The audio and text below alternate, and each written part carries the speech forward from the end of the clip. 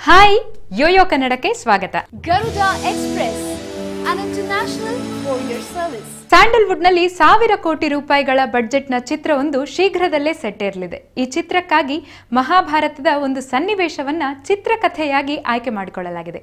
ಭಾರಿ ಮೊತ್ತದ ಈ ಚಿತ್ರದ ನಿರ್ಮಾಪಕರು ಯಾರು ಎಂಬ ಪ್ರಶ್ನೆ ಮೂಡೋದು ಸಹಜ.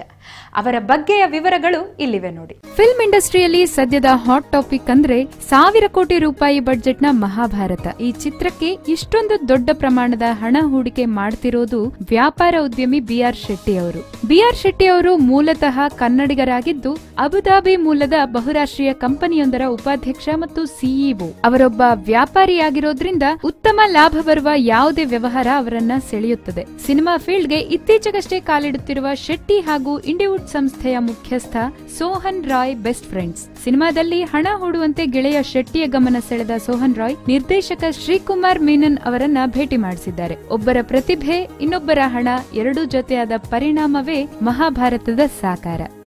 If you like this video ಬೇಗ ಲೈಕ್ ಮಾಡಿ ಕಾಮೆಂಟ್ ಮಾಡಿ ಶೇರ್ ಮಾಡಿ ಹಾಗೂ ಯೋಯೋ ಟಿವಿ ಕನ್ನಡವನ್ನು ಸಬ್ಸ್ಕ್ರೈಬ್ ಮಾಡಿ.